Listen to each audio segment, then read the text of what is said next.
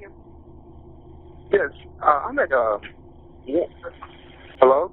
Okay. Yeah, I- What's I- going on? I, I just, I just, I just need the police to come by. Um, I work with an artist.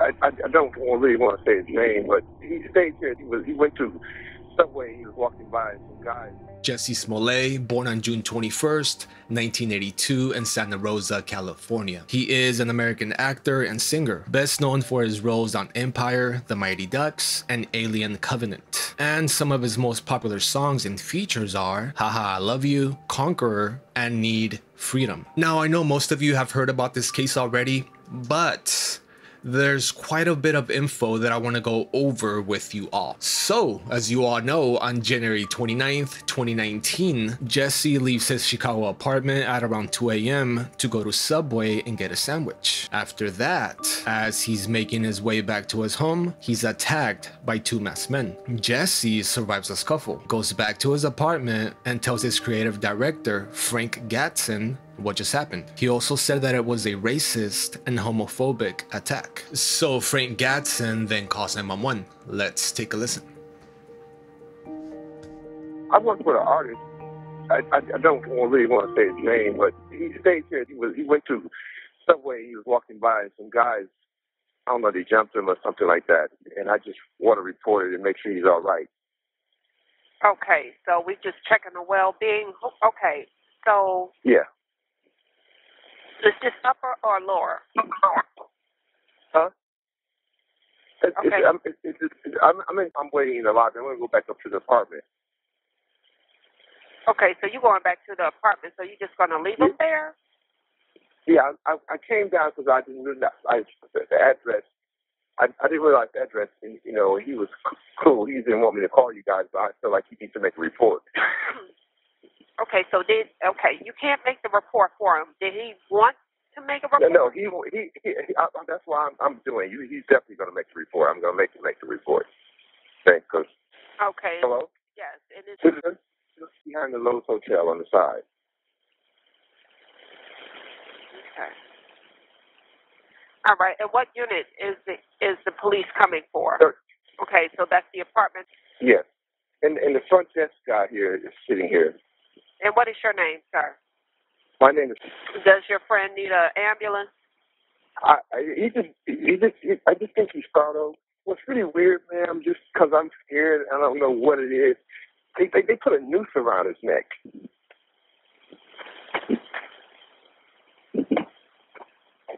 You know, they, they didn't do anything with it, but it's around his neck. That's really fucked up to me. Sorry for saying it like that.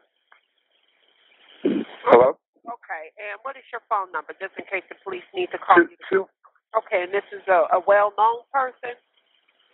Yes, it is. All right. Watch for the police. Sorry? I said, watch for the police. All right, so I'm going to go back up to the apartment. Okay? That's right. That's okay. I'll tell the All right. police. Okay. Okay, thank you. Well, All thank right, you so sir. much, okay? All right. Good luck, Goodbye. you guys. Bye bye. Okay. Bye. After Frank calls 911, police show up to Jesse's apartment. How's it going? Okay, what's going on? So Jesse told police that he was punched in the face. They wrapped the rope around his neck and they poured bleach on him. He also said that they yelled MAGA, a slogan that was often used by Trump and his supporters. As I was crossing the intersection, I heard Empire. And I don't answer to Empire. My name ain't Empire. Uh, and I didn't answer. I kept walking, and then I heard Empire. So I turned around and I said, "The did you just say to me? And I see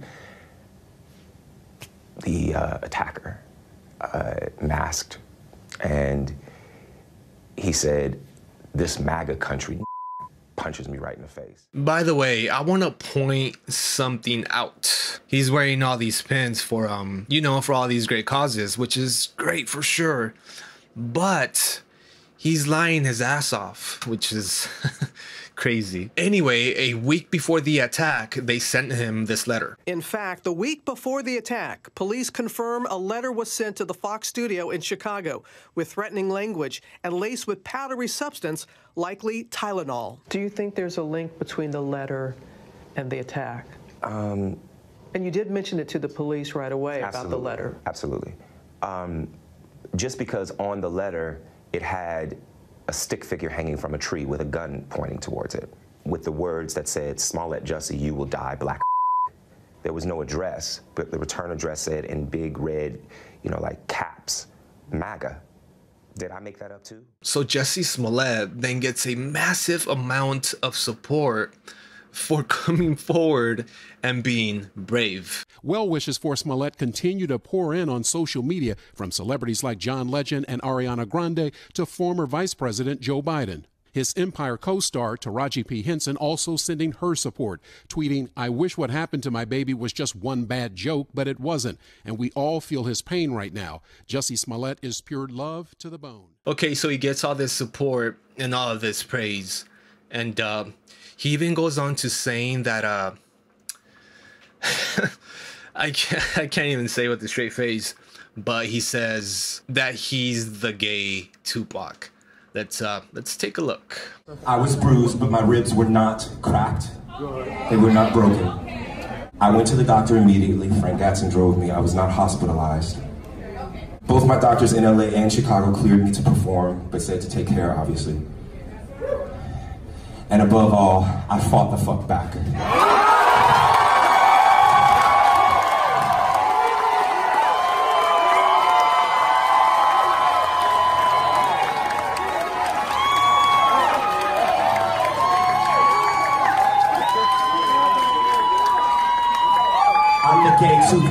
Yeah, I can't believe he said that either.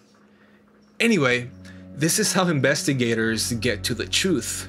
Timeline, please. On January 30th, 2019, police released a photo of two men who were close by at the time of the attack. January 31st, 2019, Jesse refuses to hand over his phone. Police wanted to confirm details and quote, including the MAGA references made, as the actor says he was on the phone to his manager at the time. February 1st, the actor says he's okay after the incident. In a statement, he wrote this The outpouring of love and support from my village has meant more than I will ever be able to truly put into words. I am working with authorities and have been 100% factual and consistent on every level. February 11th, Jesse Smollett gives police a PDF file of his phone records after they had originally asked for his phone and he'd refused. But the files were redacted, some bits were covered up. The police said there's no reason to suspect any wrongdoing from Jesse and are not looking at charges regarding filing a false report. February 14th, persons of interest arrested by police. The two people of interest were arrested and interviewed by police, but not charged and not treated as suspects. They are Ola and Abel, brothers originally from Nigeria. They had worked as Empire extras, sometimes going to the gym with Jesse. Some of the items seized from a police raid of their home include a black face mask, an Empire script, phone, receipt, a red hat, and bleach. February 17th, the investigation took a turn. Police said there's been some developments in this investigation. A day after they released the Nigerian brothers without charge, police then said, We want to speak to the individual who reported the incident.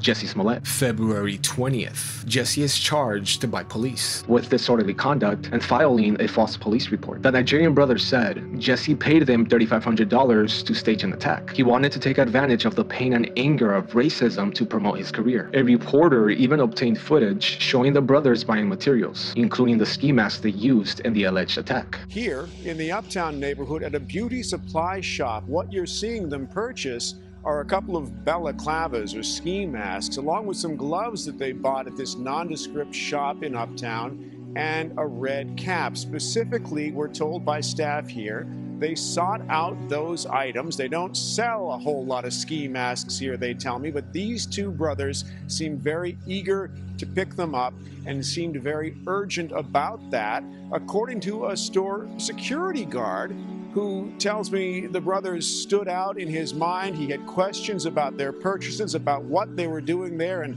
well, he believes he knows the answers now. February 21st, Jesse was arrested but then released on bond. He then went on to work on the Empire set to shoot some scenes. You know, he was probably thinking, I got this, they ain't got nothing on me, I'm just gonna keep claiming my innocence.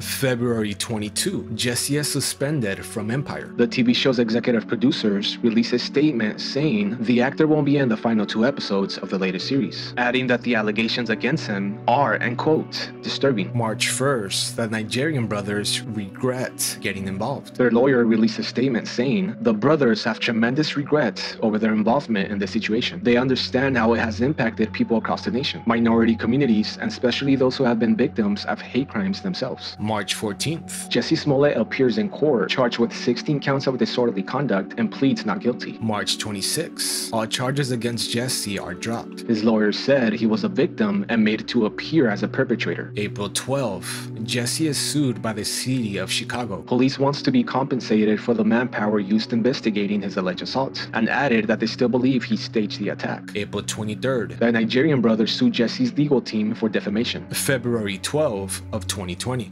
six new charges. Special prosecutor Dan Webb, who was assigned to investigate how the case was handled, said in a statement he is going to further prosecute Jesse. The actor is charged with six counts of lying to police. November 29th, 2021, a new trial begins. Jesse reportedly denies ever being involved in a hoax and still claims he's innocent. December 9th, guilty. The jury finds him guilty of five of the six counts of disorderly conduct, meaning that the last one had not been proven in court. Each count carries a penalty of up to three years in prison. Video shows the Osundairo brothers walking toward the direction of Smollett's apartment building, and in this video, you can clearly see a flash of a red brimmed hat.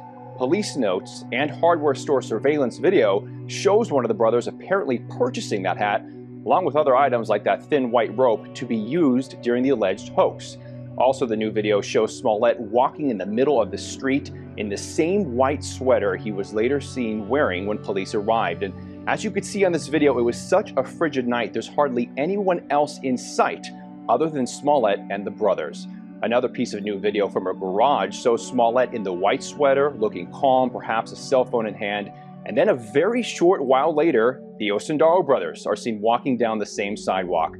The attorney for the brothers tells Fox News that the brothers were likely arriving early and kind of were circling the area waiting for Smollett to return. March 11th, 2022, sentencing and jail time. So, after three years of just going back and forth, Jesse Smollett was sentenced to 150 days jail time in order to pay a fine of $145,000. His sentence also includes 30 months of probation. And Judge James Linn ripped them a new one and said this.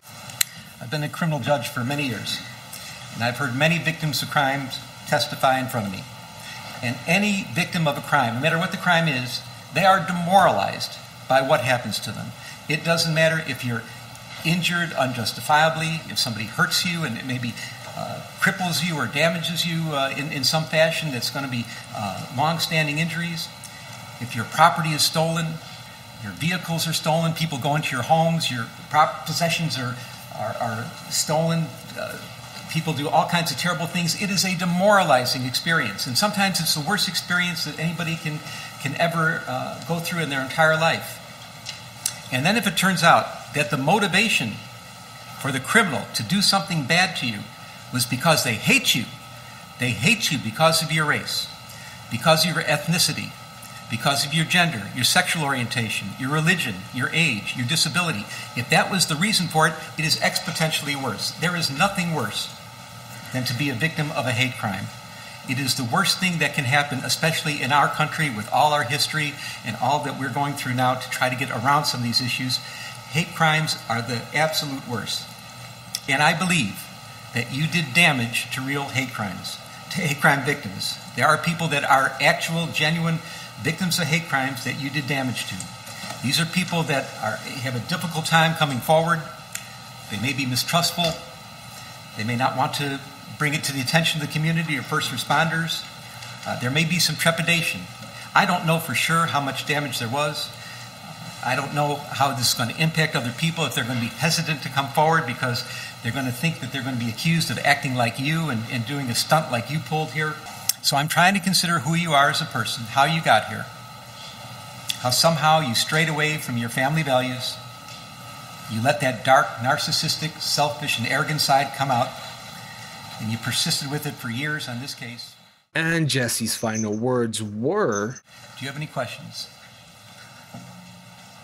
No, I would just like to say to Your Honor that I am, uh, I am not suicidal. That's what I would like to say.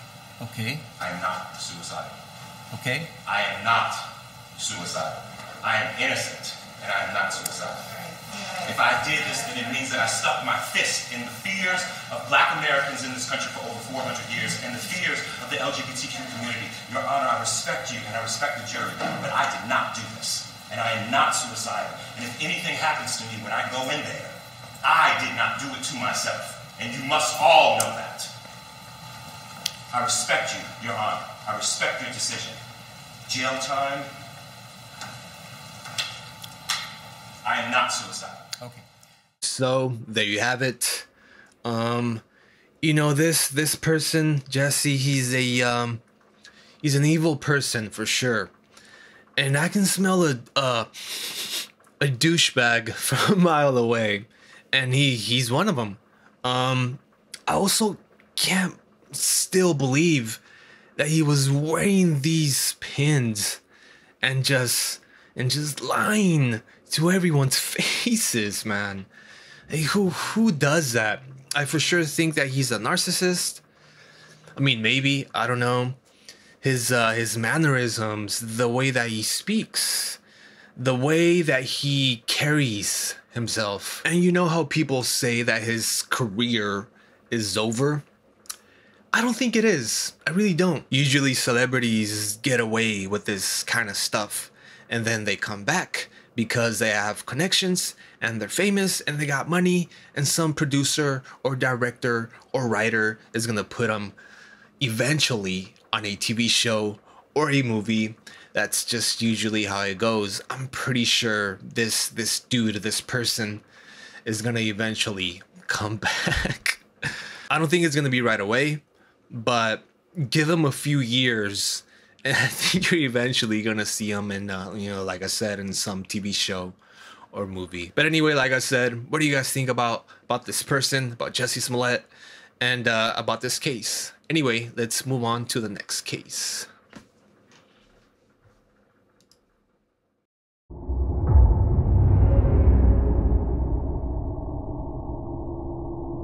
Nine one one. What is the location of your emergency? Uh, good afternoon. I'm calling from the. What is uh, the address? The address is. Oh, Okay. Yeah. Okay, and what's going on there? Bob Saget, born on May 17th, 1956, in Philadelphia. He is an American actor, stand up comedian, and TV host. Best known for America's Funniest Home Videos, Dumb and Dumber, Entourage, and Fuller House. Now, on January 9th, 2022, a 911 call is placed from the Ritz Carlton Orlando Grand Lakes Hotel, which is the hotel where Bob was staying in. Now, let's listen to the call and I'll give you all the info after. Okay, and what's going on there? Um, we have a. We have an unresponsive guest in a room. My officer is telling me that he that there's no pulse and the uh, Okay, what room number? he's in room Okay.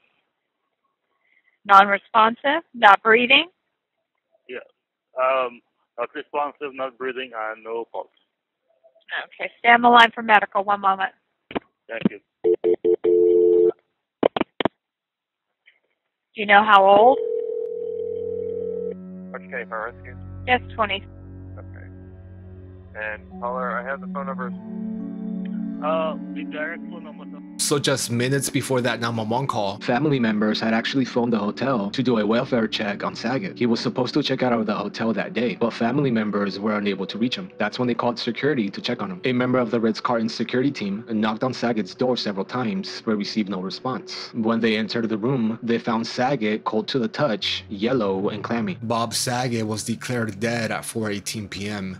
He was 65 years old. Yes, very sad news from Orlando, Florida. The Orange County Sheriff's Office confirms that actor and comedian Bob Saget was found dead a few hours ago in an Orlando hotel room. Now, there's a lot of theories of how Bob died and if it was a case of murder. But in February, a judge granted the Saget family's request that the full report on his death remain sealed. So the case into how Bob Saget died is now closed. All we know is that the night before Saget was found motionless in his hotel room, he performed what turned out to be the last show of his I Don't Do Negative tour at the Ponte Vedra concert hall just outside of Jacksonville. After the show ended, he had nearly a two and a half hour drive ahead of him back to the Ritz Carlton Hotel in Orlando. The police report shows Saget used his key to enter his room at 2:17 a.m. on Sunday morning, which means he needed to leave the venue at around 11:30 on Saturday night at the latest. And Saget's widow, Kelly Rizzo, told Good Morning America he called her that evening on the way back to the hotel, saying what a wonderful show it had been,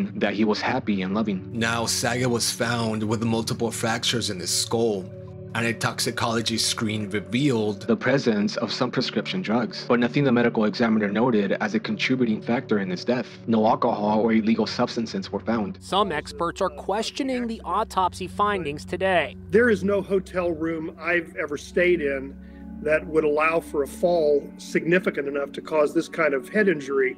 Uh, this is the kind of injury that might occur from a traffic accident, uh, might occur from an assault, might occur from a fall down a, a flight of stairs. And there's also some conspiracy theories going around online about how he died. One is that he was assaulted after the show, but he brushed it off and didn't want to press charges. Another is that Saget died as a result of the COVID 19 vaccine. The autopsy report shows Saget tested positive for COVID 19. He even told the stage crew before the show in Ponte Vedra that he wasn't feeling too well due to COVID complications. He stated himself that he was getting not getting over COVID. It was one of those. He said that he had um, something like he said like long term COVID, meaning that it was taking him a long time for his body to get over it. Okay. Um, he said that his hearing had been off, and that was the case for that evening. He was asking the sound guys to turn everything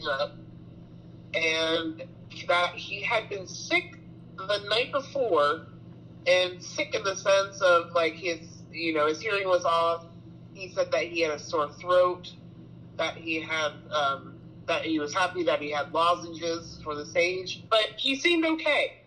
He seemed that he, and here is my interpretation because I did hear him say, you know, I don't feel good, but I'm ready to do the show.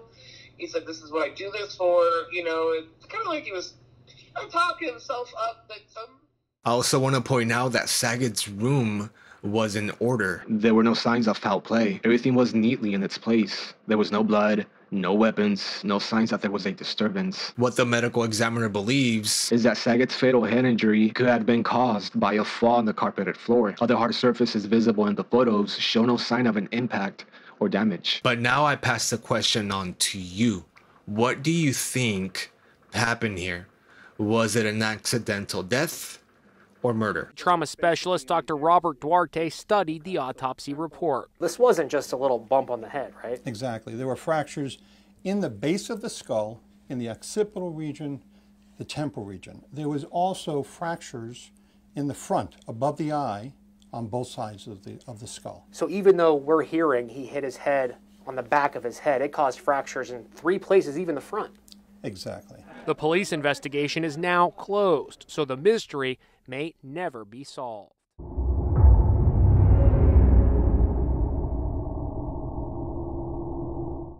Medics 130, but it's the actual the emergency. Hey, good right, United Airlines. We have our uh, one of our international flights coming in from London. It's about 10 minutes out and it's a medical emergency. Carrie Fisher, born October 21st, 1956, in Burbank, California. She is best known for playing Princess Leia in the Star Wars films. She is also known for her writing. In 1987, she wrote the hit book Postcards from the Edge, which she adapted into a movie starring Meryl Streep. Excuse me? Well, she couldn't stay with her father anyway. He's worse than she is. Not that you're bad. But in between all the fame and success, Carrie suffered battles with mental illness and drug abuse. In a statement, she said this I am mentally ill. I can say that. I am not ashamed of that. I survived that. I'm still surviving it, but bring it on. But unfortunately, on December 23rd, a 911 call was made by one of the staff members of United Airlines. She said that they had a medical emergency for a passenger. That passenger was Carrie Fisher. Let's take a listen. We have our uh, one of our international flights coming in from London. It's about 10 minutes out, and it's a medical emergency for a passenger in two Foxtrot What, uh, female. What satellite? Uh, Terminal 7, Gate 74. Terminal 7. Hold on a second. 34, gate 74. Gate 74, yes. Alpha, Bravo, or. No, it's just gate? 74. Okay. Yep. And what's the airline again? Uh, United Airlines, What's the flight number? 935 from London. LHR. 935. And you're call, you're calling uh, from United Airlines, right? Direct Operations. operations. Okay. What's uh, your callback? And what is the age of the patient? The uh, pa- age of the patient? Female. And what's wrong with her? No, what's wrong? What's wrong with her? Oh, Okay, hold on. Okay, let's see. What? Uh, two. I already told Marley. Yeah, I'll call the supervisor and then I'll call Brent. Okay, Regina, and then I'll call Brent. Thanks, Mark. What's the newest ETA on that? Um, 12, they said 1228. 1228. Okay, and what's the ETA? Twelve twenty-eight. Yeah. No, it's making up time. I would, it's, it's in 10 minutes. They'll be on the ground in 10 minutes. So let's see here.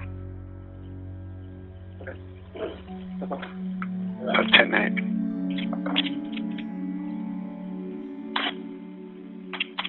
Carrie Fisher was on a flight from London to Los Angeles when she went into cardiac arrest. She died at UCLA Medical Center just four days later on December 27th. Also, her mother, Debbie Reynolds, died the following day. She was 84 years old. Man, it's sad that Carrie Fisher is no longer with us. Um, I'm a huge fan of Star Wars. Huge fan. I love the movies. I love the merch, everything about it, man. I also found this article by people that said that Debbie possibly died from a broken heart. I don't know if that's actually possible, but I think it could happen. Because, you know, I've heard of like these older couples that are like in their 70s, 80s, 90s, and that when one of them passes away, the other passes soon after, which is so sad, you know? Imagine being with someone for so long, you know, for decades, and then all of a sudden that person just, you know, passes away. And I imagine, I mean, I don't know, I imagine you just feel so lost. Because again, you're with that person for decades, for so long, every single day, and then they're just, one day they're just not there anymore. I don't know. It's it's kind of sad, man. But yeah, let's move on to the next call.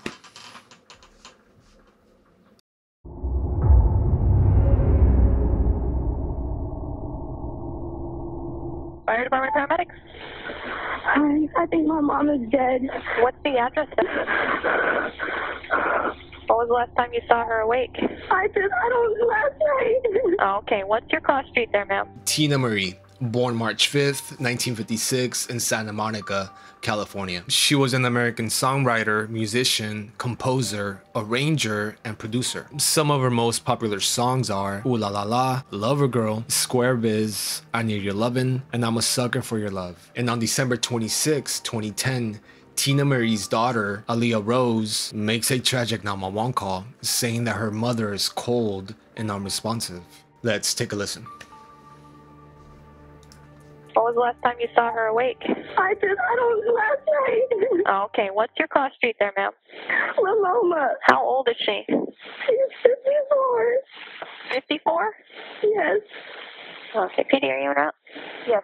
Okay. What's your phone number, ma'am? Okay. Do you want to try and do CPR? I don't know. I can guide you. I can guide you, but I'm going to need you to. I'm scared. I'm so scared. Okay.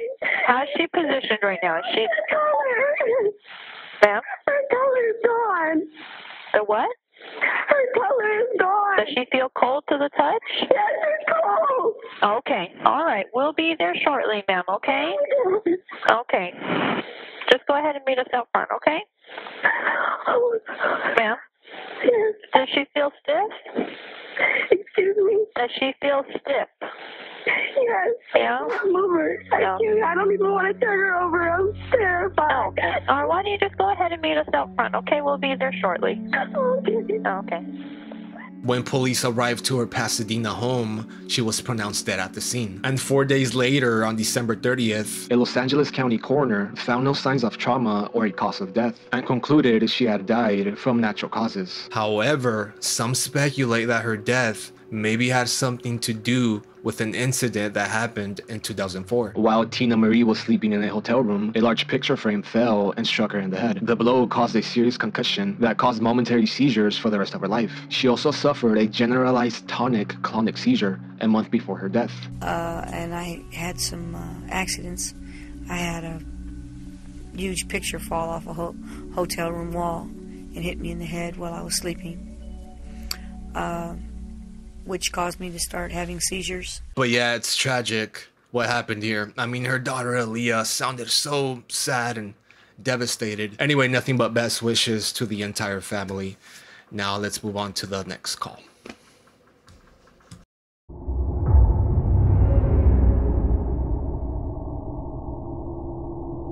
No, an emergency. Do you need police or paramedic? Uh, no, I believe we have a, uh, looks like a murder suicide. What do you see?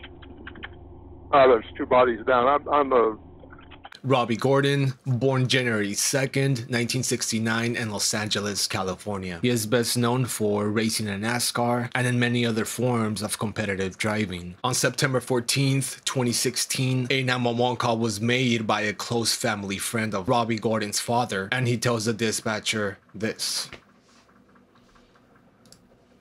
there's two bodies down. I'm, I'm a Why do you say murder suicide? Well, they're both deceased. I was a 30 year LA County fireman. I know a body when I see one. Are they in- both, they're both in, inside, and they look like they've been down for quite a while. Why do you say murder suicide? Were there any weapons? Well, yeah, yes, there is. What type? Uh, looks like well, one one of the bodies is in the bathroom, and I, it's hard to get that door open, but I can I can see a long rifle laying on the floor. Where's the male at? She is in the bedroom. He's in the bathroom. Is there anybody else in there? Yeah, her uh, daughter's here, and there'll be other people showing up. We need to make sure everybody waits outside. Can you do that for me? I will. Don't let them in the Yeah. house, okay? We we need to keep them outside. All right. What's Okay. their names? Uh, uh, Bob and Sharon Gordon. Okay. Do you hear the sirens? Yeah. Okay.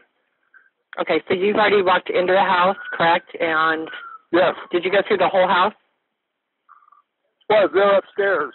So yeah, I went through the house, went upstairs, and I just checked for a pulse. But it, uh, with her, she, she's open in the bedroom. Okay. But there's, you know, obviously there's rigor set in. So. Okay. Uh, but I, I tried to get in the bathroom, but I didn't want to push the door open too far. Okay. Okay. So you couldn't check on the locked. Okay. Somebody just turned off the sirens. So it's got to be close. Okay. You have contact. Yeah, yeah, they're just right here. Okay. Perfect. Thank you. I'll disconnect. As you just heard, the retired firefighter said that it looked like a murder suicide, and he was right. They quickly learned that their deaths were a result of a murder suicide by his father, Bob Gordon, who strangled his wife Sharon before shooting himself in a home in Southern California. Sandra devastated. Robby Gordon just came out of the house here that he grew up in to give that statement about the shocking death of his dad and stepmom who live right next door or lived next door, a home that he gave them. And Robby, he would not say what happened, only that the truth will come out and thanked everyone for their support. I'd like everybody to understand this is very, very tough, and it's um, it's not only tough for me, but it's tough for my sister, Robin, Becky, and uh, my sister, which is um, Sharon's daughter, uh, Haley. That's going to be tough on all of us. A couple well known in the auto racing community found dead inside their home in this upscale neighborhood in Orange. Anyway, guys, I couldn't find any other details on this case. I wanted to find the why of, you know, of why this happened, but I couldn't find anything else. Anyway, let's move on to the next call.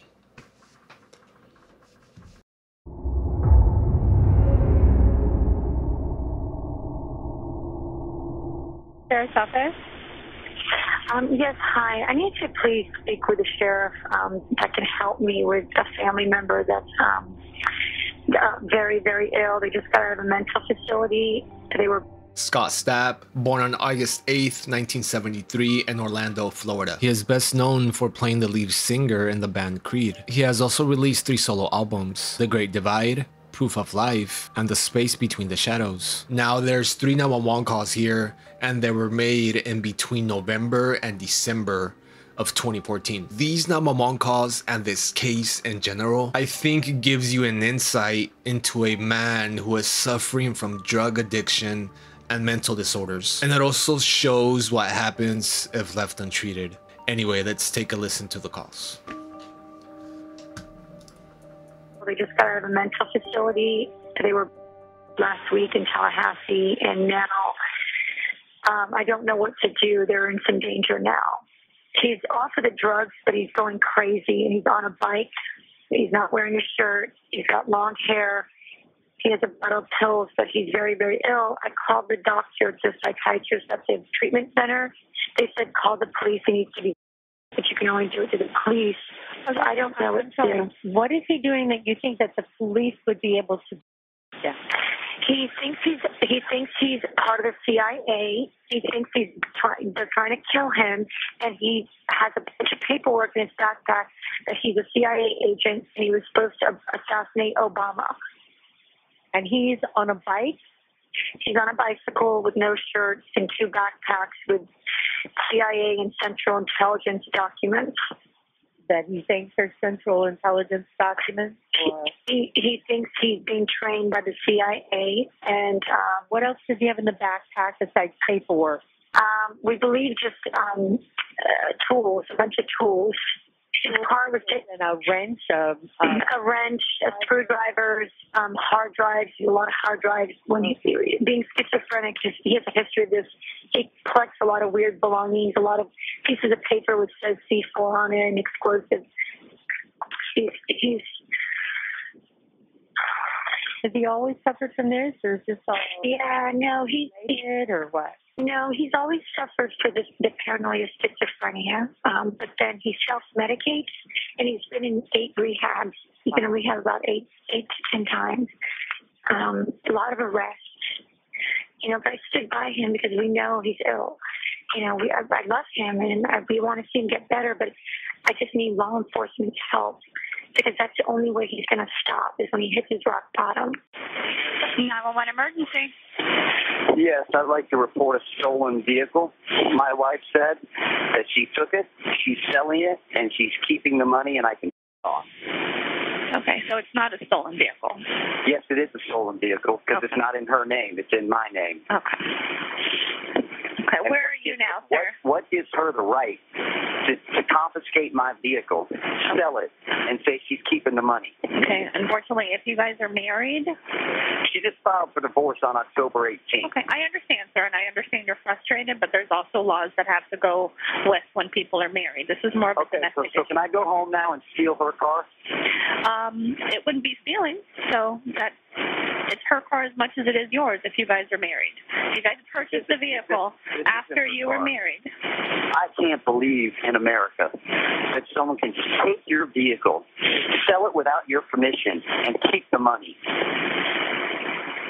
What kind of country we live in? And I'm on a bicycle since she stole my car. Yeah. And she threatened to blackmail me uh, and said that uh, if I went to the police about the stolen money, uh, then she would uh, release to the public uh, supposed pictures she says she has, or anything else she can do to try to defame me and ruin my reputation and my career. She's already began that. Allison County 911. As someone is trying to kill me. I've called three times. I'm running down the highway. Okay? I've called 911 about eight times on this trip I've had working, and no one ever shows up. You're on, you're on foot. What are you wearing, sir? I'm on foot. I've got a backpack on. I've got jeans and a white tank top. Jeans and a what tank top? I had, to, I had to immediately get out of my car. Jeans and a what tank top? A white tank top. All right. I it was in undershirt. Who who is trying to hurt you? I I don't know. Okay. You don't know? I've been, run, I've been running for about six or seven weeks, trying to keep them away from my family. Okay. So, But you, but you don't know who this is? somebody told me that there's already a report that I've been killed. Okay, that's already on the internet. I don't know if it's true or not, but I'm not dead. I'm alive, and I need some help. You don't know where this person is? No, it's been multiple. It's been large groups of cars. Okay, it could have been uh, messed with or tampered with. Uh, I was about to run out of gas, so I abandoned the vehicle. But you're headed to the you're headed to the ambulance truck, yes? Yes, right now. Yeah, they made me run to them. Stay on the phone with me, okay? Stay on the phone with me till you get to them, okay? I'm like, I want to stay on the phone with you the whole time. Can I go to the hospital? Good. I need to go to the hospital, sir. Yeah, I'm having chest pain. Can I go to the hospital, please? Because someone's trying to kill me. Yes. I've already been reported dead, okay? Can you take me to the hospital? Thank you. You all right? Will you please, will you, no, stay with me. Okay. Do a blood test so so no one can accuse me of doing drugs. All right. It was reported that I was killed uh, last week. Okay, but I've been on the run. Okay, to keep them away from my family. Okay, about twenty million dollars of my money has been stolen. Okay, these people are trying to cover it up. This is a fact. Banks already know about it. There's already an investigation going on. Okay, so I have all the information to give to the police officers, and I just need to get to the hospital. I, I haven't eaten in two days. So Scott was later placed on a psychiatric hold after threatening to kill himself. He stayed for three days, but his estranged wife pleaded a 60 day hold for the musician. However, he went on to miss a court hearing and lost custody of his kids. And days later, Scott posted this video online saying things like, Someone stole my money from my bank accounts, and saying that he's been sleeping in his truck. A few other things have happened um, over the last four or five weeks. Um, all of a sudden, the IRS has frozen my bank accounts two or three times uh, to leave me completely penniless.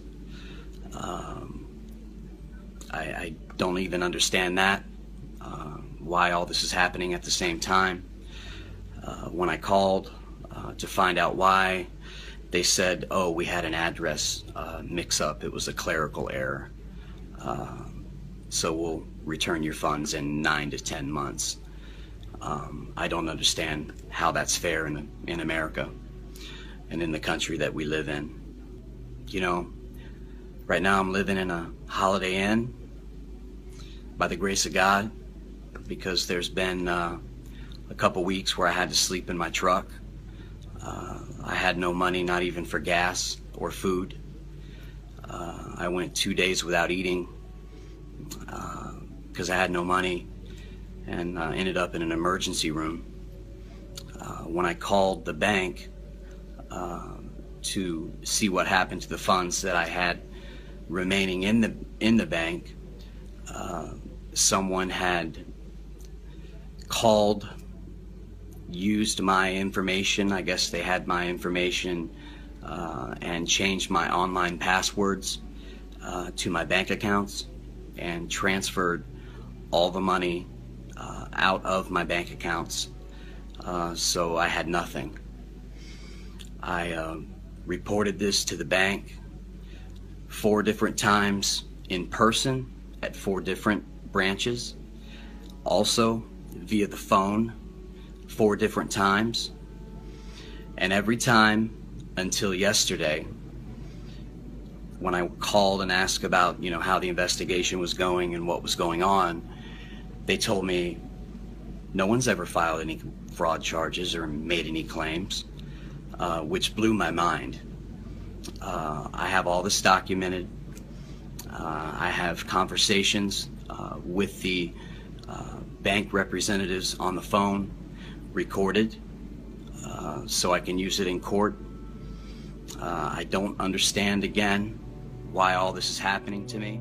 So eventually, Scott got the help that he needed. He went into rehab and got treated for bipolar disorder, which went undiagnosed for years. In 2006, he jumped off a balcony in Miami and fell 40 feet. He survived after being discovered by rapper T.I. with a fractured skull, broken nose, and hip. He admitted that he'd been taking drugs like Percocet, Xanax, and prednisone. Scott Stapp, who's a, uh, a phenomenal guy, man, that found himself in a, a tough emotional spot, and and he tried to kill himself. He wanted to jump to his death, uh, but he landed on the top of my patio. I looked up and I saw a guy moaning and groaning because I, I, couldn't really see anything. It was dark. It was mm-hmm. nighttime, mm-hmm. and uh, finally. I think he tried to get up when he was already kind of busted up down at the bottom of his legs. So when he tried to get up, he fell again. Boom. So this time he fell a little closer so I could actually see him then. And I was like, yeah, we were both like, hey, hey, whoa, whoa, chill, what's going on? And he said that his girlfriend had, had cheated on him, I think with his one of his best friends or something like that. Mm-hmm. And and he said, Well, I just want to die. Da, da, da. And we talked him into allowing us to call some help for him. And they came up and got him and they took him off. Wow. But in the incidents that happened in 2014, he said this I was out of my mind, delusional, turned on everyone that I loved, made wild and crazy accusations about my wife. I mean, it was a manic, paranoid, psychotic episode. I was driving around with a 12 gauge shotgun in my lap, and I thought that people were trying to kill me. He also mentioned that he took 120 milligrams of Adderall, which led him into this full blown psychotic episode. As of now, Scott seems to be doing well and living a sober life. In a statement from 2019, he actually said this My wife and my kids were critical in helping me get sober. I got to the point where it was either get sober or lose my wife and kids, man. And that's about the lowest rock bottom that I could possibly have gotten to. So they were critical. I'm so glad that he got better. I mean, this could have ended so badly. Thankfully, it didn't. I wish him nothing but the best. He also has a beautiful family. He's just gotta, you know, keep on that path of sobriety. And if you're suffering from any of this, keep in mind that there's light at the end of that tunnel. Believe me, there is. Just keep at it and stay strong. Anyway, let's move on to the next one. Well, I think this is the last one actually, so.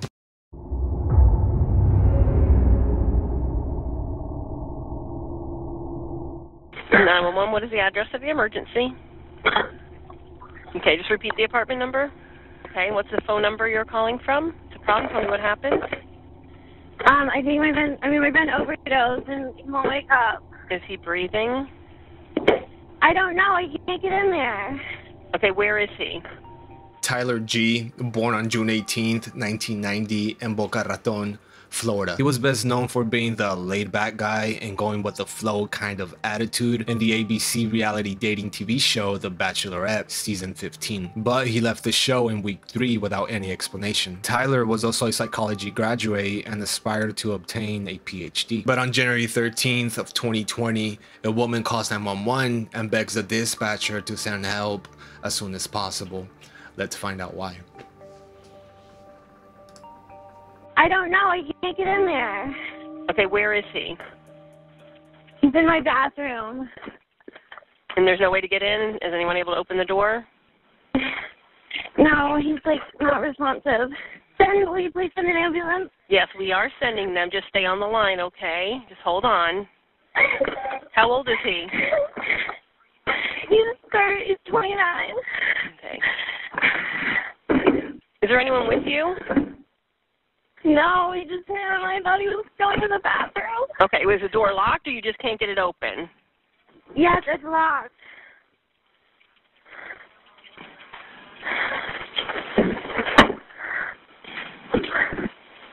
Okay, hold on one second. What did he take? Do you know what he took? Ow. Yeah, I've got the police and the paramedics on the way as fast as they can to help you, okay? Just stay on the line. Do you know what he took? I don't know. Heroin. Oh. Okay. Do you, is there a Narcan available there? No, that's what I'm I don't know where it is. I don't know. Okay. What's your name? Yes.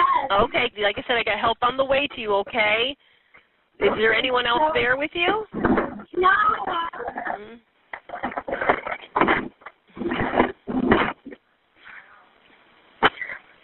Please wake up. Please, please, please. Please wake up. Please Is up. the, is the bathroom door still locked? Yeah, no, it's locked. I just broke through it. You did break through it? Okay, is he on, lay him flat on his back? He's too heavy. Is he, oh, is on his side? Or how is he laying? Yeah, he's on, his, he's on his side. Is he breathing? I can't tell. I can't tell. I'm so scared. Okay, I want you to try. I want you to try. Okay, I want you to try to get him flat on his back any way you can. You push him or pull him. Just try to turn him onto his back. Okay. Wake up. Wake up. Please wake up. Look at me. Wake up. Lamar. I don't know where the nut I don't know where the Narcan is. I don't know why it's not here. Please wake up. Please wake up. Please. What? Oh what? They're coming to you, okay? Were you able to get him on his back? Yes, he's on his back. Okay. I want nothing under his head, okay? Tilt his head back and check for any. Please breathe. Please breathe, please. what? Okay, I want you to go close to him and check if he's breathing at all. I I got to unlock the door for the paramedic. They just came out. They're in there? No, I got him got to unlock the door for them. Okay. Oh, make sure the door is unlocked and open.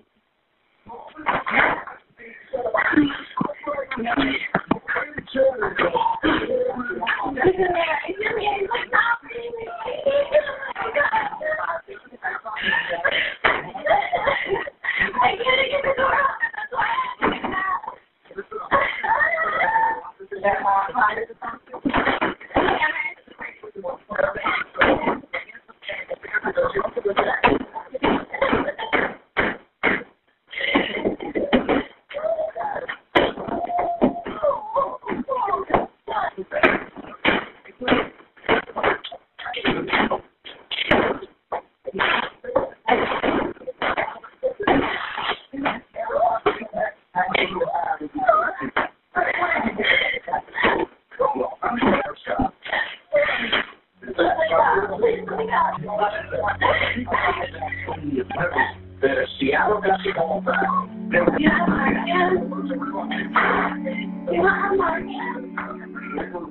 According to police, A syringe and a powdery substance were found on the vanity in the home's bathroom. Tyler was then given Narcan by medics. Unfortunately, he died in the hospital a week later. The medical examiner determined that Tyler died as a result of opioid toxicity. His death was ruled as an accident. Oh, and by the way, his family started the Tyler G Foundation in his memory. They said his struggles with opioid addiction prompted the mission for the nonprofit, which is dedicated to helping individuals battling addiction. Former Bachelorette contestant Tyler G has died at the age of 29. The Boca Raton PD confirms to ET that they responded to a medical overdose involving Tyler. He just was really calming and nurturing for me to feel confident going into these one on ones. But he mysteriously left the show one week after. The Bachelorette alum also said that the reason for his departure wasn't aired in order to respect his privacy. And again, I want to thank all of you for watching, even if you're not a member or a patron. I still just, I love all of you. You guys are a bunch of great people, man. Seriously, I love you guys so much.